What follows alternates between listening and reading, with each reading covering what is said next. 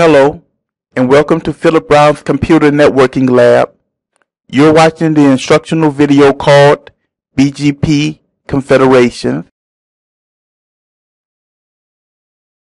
BGP confederations are used to break up the number of full meshes. Each confederation can have its own group of administrators to oversee it. In this example, we only have four routers, but they can represent thousands of routers. Confederations were designed to make administration easier for autonomous systems with thousands of routers as well as reduce the number of network connections needed. If an autonomous system had 10,000 BGP speakers, the autonomous system could be broken up into 100 confederations so that each confederation will only have to create a full mesh with an average of 100 routers. Here we have an example of a hierarchical system where the autonomous system 300 is broken up into three confederations and the routers in the three confederations are connected to each other using route reflectors, thus creating a logical full mesh between all the routers in the autonomous system 3000. This type of structure is useful when dealing with thousands of routers. The neighbor confederation identifier command identifies the autonomous system number as seen by eBGP routers. The neighbor confederation peers command identifies other neighboring confederations in the router's autonomous system. The neighbor eBGP multi-hop command allows routers to connect to eBGP routers even if the interface is not directly connected.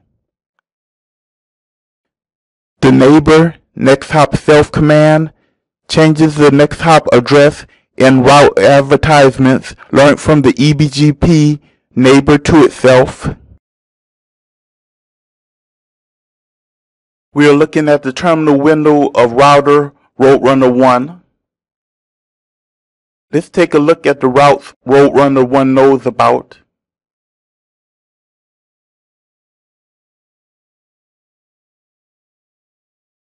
Here we see the private IP addresses that Roadrunner Autonomous System knows about. We also see the public IP addresses that are advertised to other autonomous systems through BGP. Now let's look at the running configuration.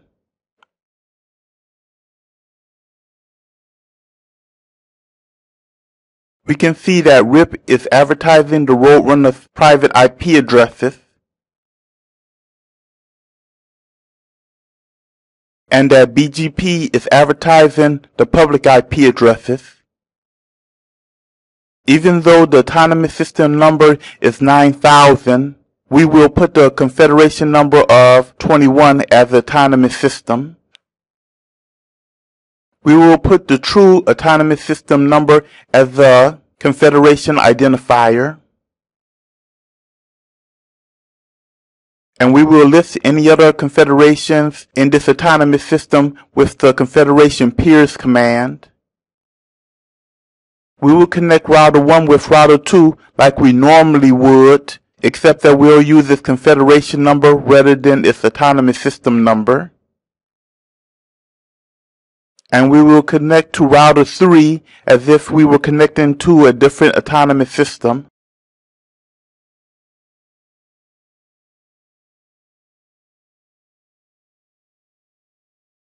This is the terminal window of router Roadrunner 2. We will use the show IP route command to view the networks that router 2 knows about.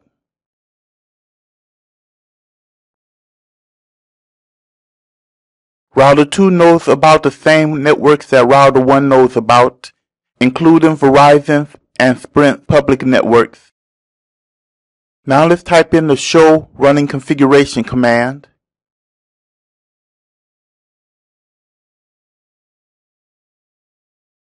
RIP is advertising the Roadrunner private IP addresses.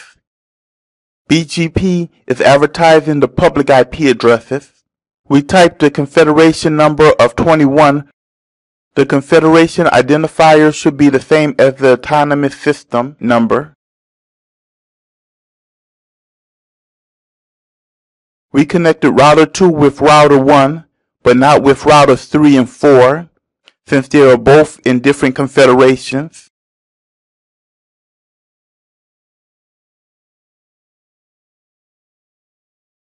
We are looking at the terminal window of router Roadrunner 3. Let's take a look at the routes it knows about.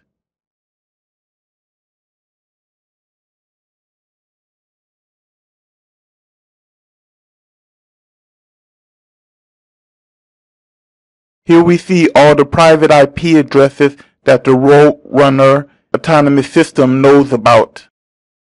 Now let's look at the running configuration.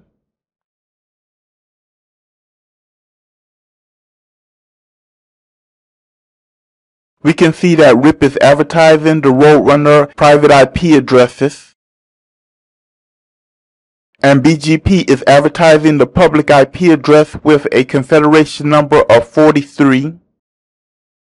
We will put the true autonomous system number of 9000 as the Confederation identifier, and we will list the Confederation 21 using the Confederation peers command. We will connect this router with routers 1 and 4, but not with 2.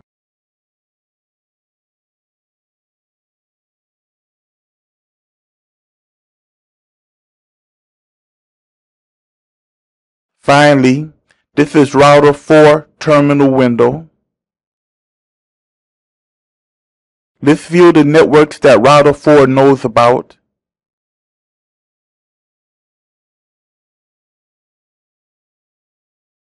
Router 4 knows the same networks that the other three routers knew about.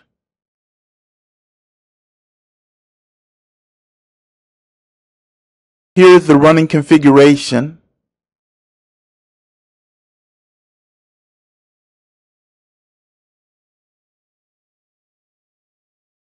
RIP is advertising the Roadrunner's private IP address. And BGP is advertising the public IP address.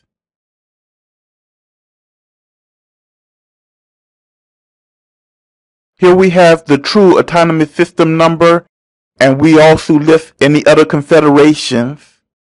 We connected router 4 with router 3, but we did not connect routers 1 and 2 since they are both in different confederations.